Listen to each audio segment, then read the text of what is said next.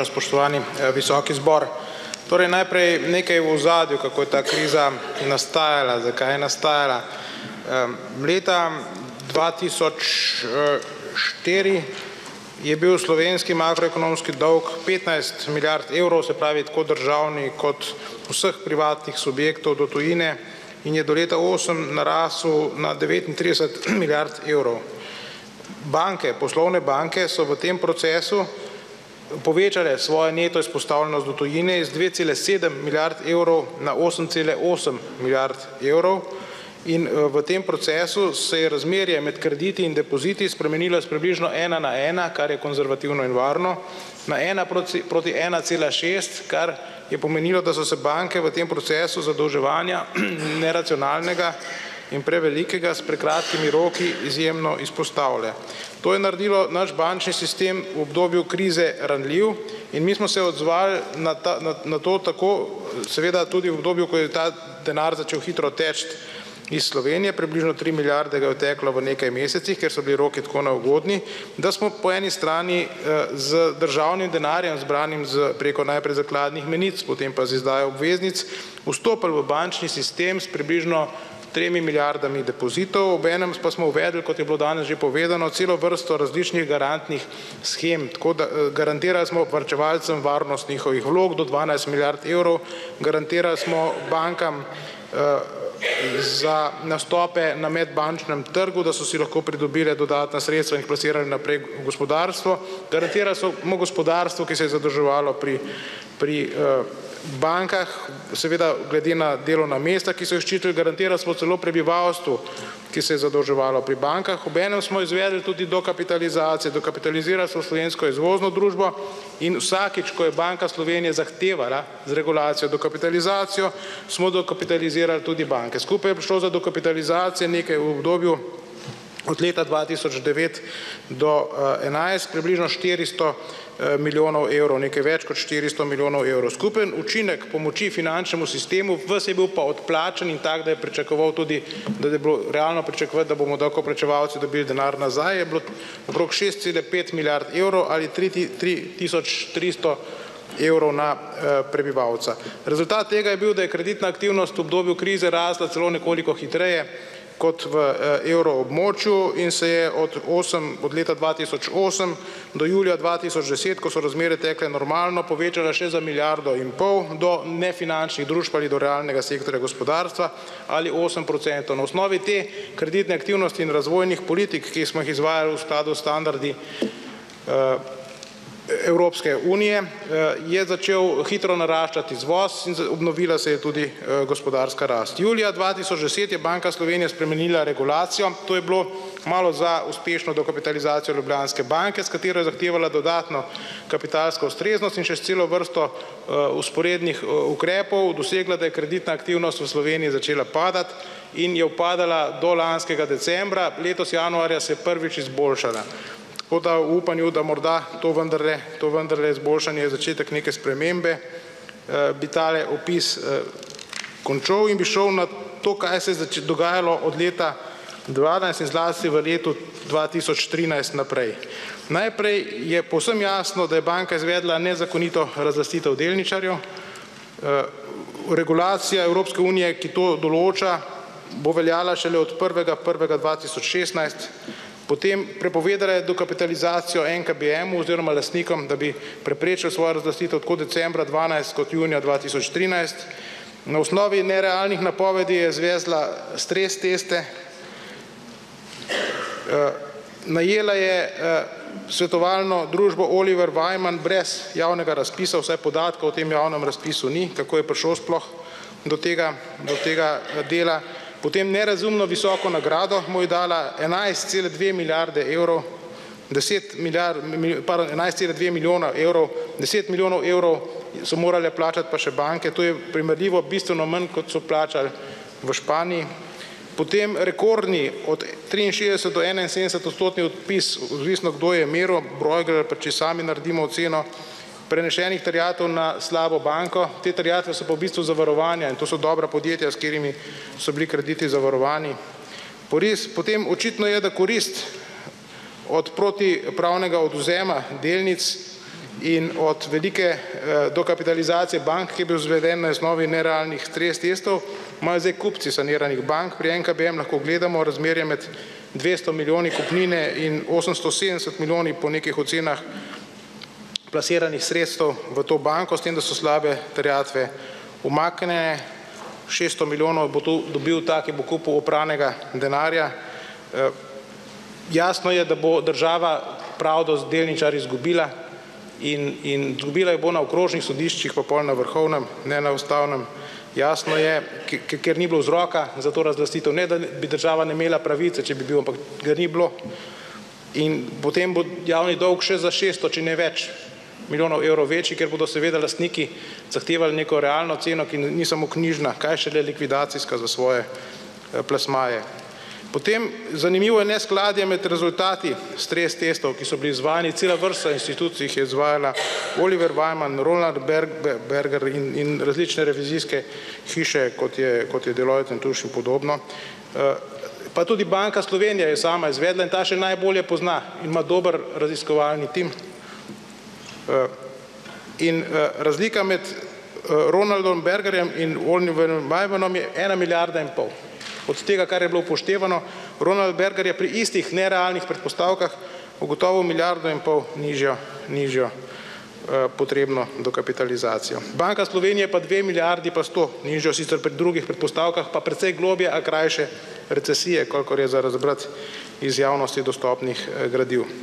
Potem očitno so se med, to so že ljudje v bankah opazili, zaposleni, da so se med izvajanjem stres testov spreminjali kriteriji.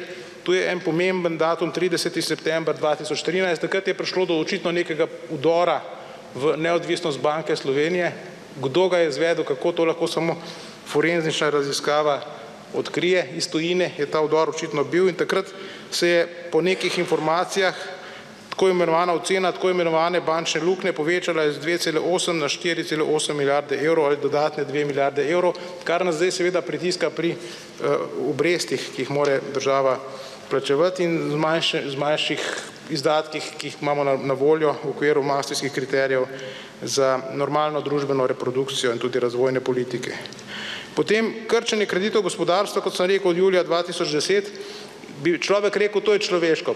Poskušal so uvesti en ukrep, ki ga je že Evropska unija oziroma ECB načrtoval, zelo hitro pa, ko so videli, da ima zelo pogubne ukrepe, bi posledice, bi morali vendarle ukrepati, nekaj spremeniti, nekaj izboljšati, se poskušati prilagoditi. Ne. To kar nadaljujejo, nadaljujejo, kar kaže na neki načrt, tako da so krediti nefinančnim družbam, kot temu rečemo, ali realnemu delu gospodarstva, so upadli iz enaindvajset, dobrih enaindvajset milijard v letu v sredi leta dva tisoč deset na dobrih enajst milijard v na koncu na koncu dva tisoč štirinajst. Nekaj teh sredstev je prenešenih tudi na tudi na slabo banko, tako da v celoti se toliko gospodarstvo ni razdolžilo, precej pa se je. In kar je, bi bi dodal na mnenje gospoda Dragonje, tako malo advokatsko je to bilo povedano, a ne, se pravi, ni se poskušal, bi rekel, samostojno opredeliti kot analitik. Seveda dokapitalizacija ni pripeljala do povečanja kreditov do letošnjega januarja, morda se je letošnjega januarja to začelo. Približno za milijardo so krediti še upadli od od ali pa so se odpisi povečali še od prenosov na slabo banko na do do do lanskega decembra. Tako da tako da za razliko od tiste sanacije, ki je bila izvedena v začetku devetdesetih let, ta ni vodila v povečanje kreditov in potem v gospodarsko rast, obratno, gospodarska rast se je zgodila kljub kljub tem dejavnostim, kakor so bile pač peljane centralne centralne banke. Omogočil pa jo je seveda presežek v zunanjetrgovinski menjavi in v plačilni bilanci. Gremo na ozadje. Pač mi smo zbrali iz tega, kar je javno dostopno, nekaj podatkov, pa vam jih bom tule visokemu zboru na kratko povzel. Najprej v zvezi s vsemi temi projekti so so bile povezane grožnje. Pritiski na predsednika uprave Banke Celje, da zaprosi za državno pomoč pod tem, da so mu grozili z odstavitvijo, ko je to opazil, je sam odstopil in kasneje je sledila osebna tragedija. Nobenih znakov vesti ali kesanja, kakor hočete temu reči. Sredi dva tisoč trinajst, preden je Ministrstvo za finance obljubilo v Evropski komisiji oziroma tam nižjim uradnikom izbris, je bilo naročeno vrednotenje pač bančne aktive pri Ronaldu Bergerju. Rezultati so pokazali, da je kapital NLB pozitiven, za kapitalsko ustreznost bi bilo treba dodati eno milijardo evrov dokapitalizacije, zato je bilo podano novo naročilo, tokrat strožjega vrednotenja pri Deloittu, pri čemer so ti rezultati na koncu poročila oziroma je je Deloitte na koncu poročila zapisal, da odstopa od računovodskih standardov. Odločitev dokapitalizacije je bila torej izvedena mimo ustaljenih načinov merjenja rezultatov. Odločbe naj bi bile izdane devetnajstega, dvajsetega, morda dvaindvajsetega decembra, ker pa so vedeli, da bo ustavno sodišče odločalo o zadržanju izvršenega izbrisa, so pohiteli in jih datirali na sedemnajstega decembra, se pravi dogodke, ki naj bi se šele zgodili, so opisovali v pretekliku. To se jim ni pomotoma zgodilo. Potem časovna neskladja ali manipulacija z dokumenti.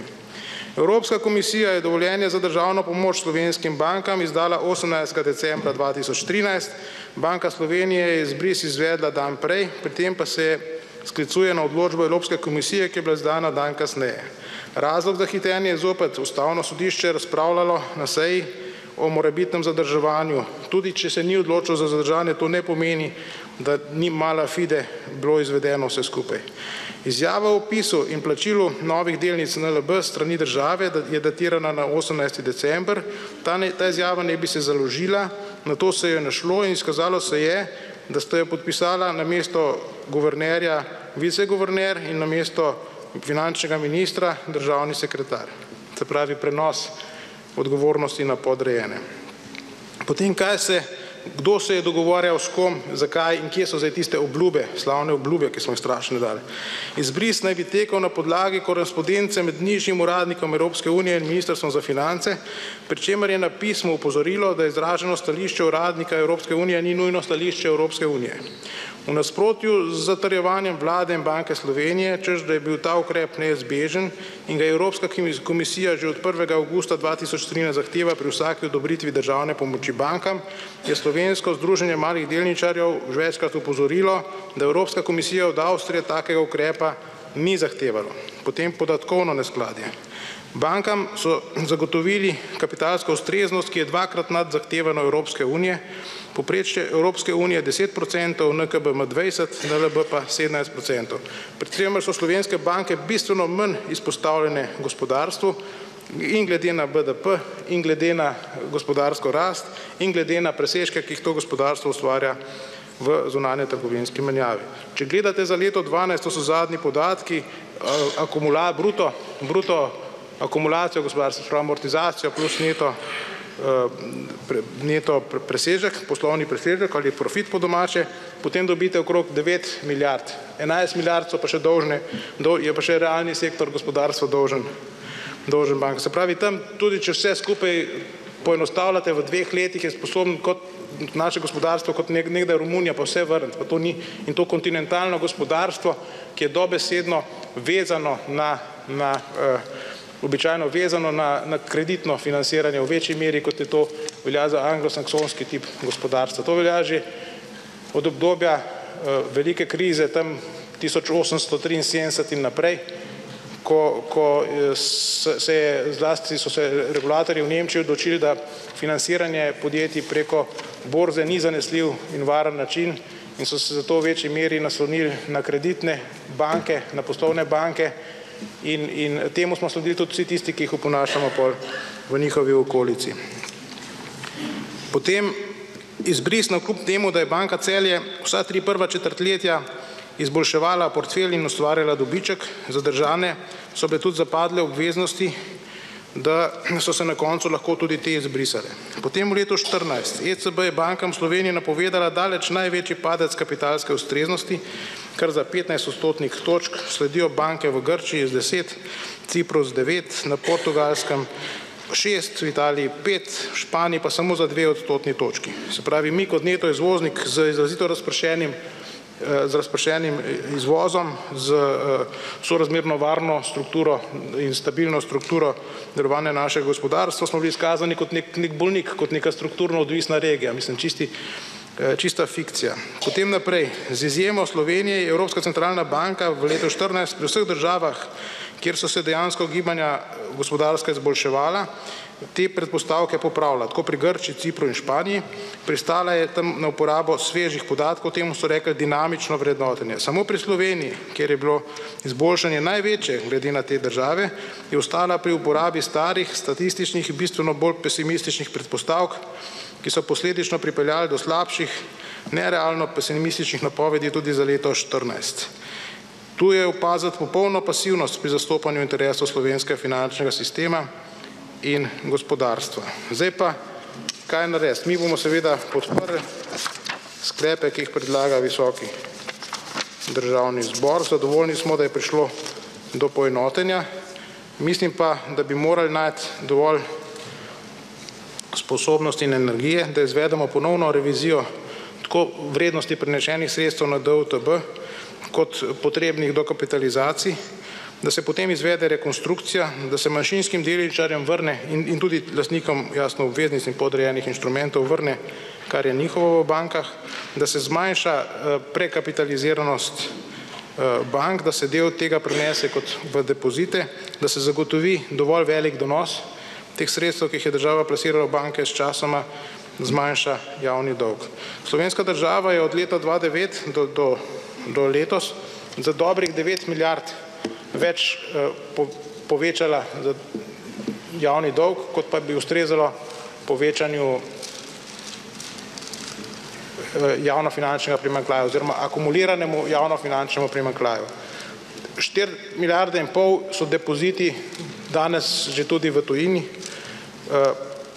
ostalo je plasirano v banke in te imajo tudi v tujini plasirano, zlasti kratkoročno imajo. Slovenske banke, so iz tistega omenjenega neto dolžnika do tujine za dobrih osem, med osem in devet milijard, postale neto upnik tujine za približno osemsto milijonov v na koncu lanskega leta. In kratkoročno imajo pa tri milijarde več plasirano v tujino poslovne banke kot kot pa imajo od nje sposojeno. Se pravi, izrazito so varne in in izrazito skrbijo pač za financiranje nekih finančnih subjektov v tujini in ne in ne gospodarstva. Centralna banka ima pa sploh šest milijard evrov neto plasmajev v tujino, tako da država ima štiri milijarde in pol evrov likvidnostnih rezerv plasiranih v različne inštrumente in v tem smislu mislim prvič, da smo varni in drugič, da ni nobene potrebe bilo za za to, prvič ni tako veliko dokapitalizacijo in drugič, kaj šele za razlastninjenje. Že če gledate povsem preprosto, logično kot kot kot neki kot neki kmet, ne, kako lahko vzameš neko predpostavko, na primer, da bo prišlo do velikega potopa v Ljubljanski kotlini, da bo nazaj Barje, mislim, da bo na Barju zopet jezero ratalo, da bo vse zalilo in na osnovi tega zahtevaš dokapitalizacijo bank. Nekaj takega je bilo izvedeno, ne. Lahko daš tako predpostavko in na tem delaš neke sklepe, neke sklepe ali o varnosti ali o o o ustvarjanju rezerv nekje ali karkoli, ma ne moreš pa na osnovi tega tega razlastiti lastnikov neke banke. Ma kako lahko to nekomu sploh pride na misel in kako mu lahko pride na misel, da da da da sploh ne ne razmišlja, da je tu karkoli narobe. Mislim, kaj je, kaj se tu dogaja? Mi danes odgovora na to ne bomo dobili, to je čisto jasno, ne. Ne bomo dobili, ampak da so pa stvari izjemno, izjemno čudne, pa ni nobenega dvoma.